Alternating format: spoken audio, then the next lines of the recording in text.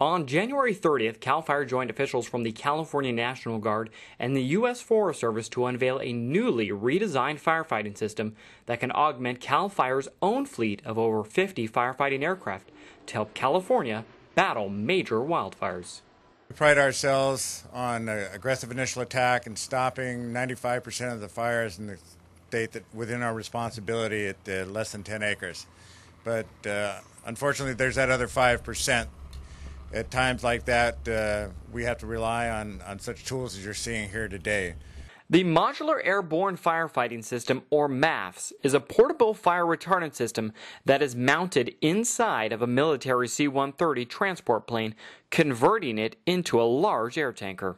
This is the latest generation of airborne fire retardant dispersion systems. This system, coupled with the advanced C 130J aircraft, can disperse fire retardant faster at higher altitudes and more efficiently than any other military firefighting system.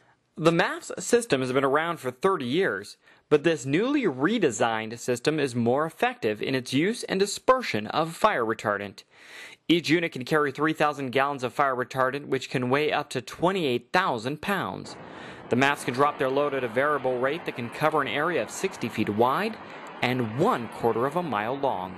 We've used their fire crews in the past, and uh, we're going to train up another bunch of troops this year and uh, have them at the ready for the coming fire season.